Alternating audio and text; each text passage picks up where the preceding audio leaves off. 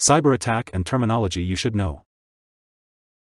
Cyber threats are always changing, so it's important to be aware of the different types of cyber attacks that individuals and businesses might encounter.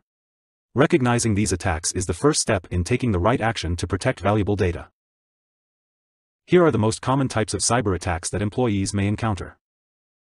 Phishing attacks.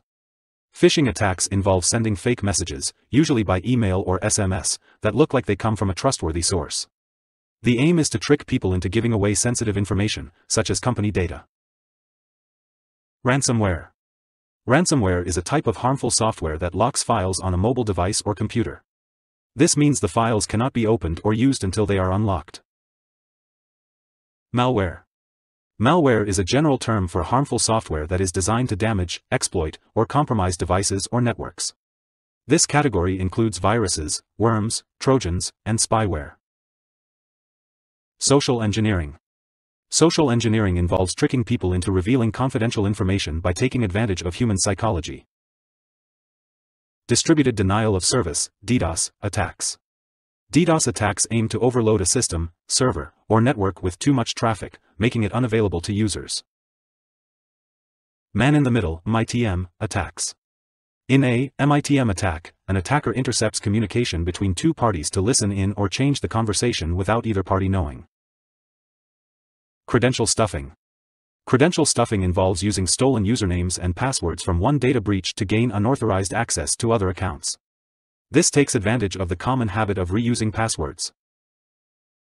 Scareware. Scareware is a type of malicious software that tricks users into buying fake security software or services by showing alarming messages. Adware. Adware is software that automatically shows advertisements and can sometimes track user behavior to display targeted ads. While it is not always harmful, it can slow down device performance and invade privacy.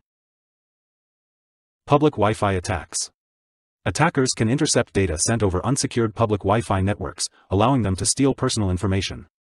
When you connect to public Wi-Fi in places like cafes or airports, sensitive data may be more exposed.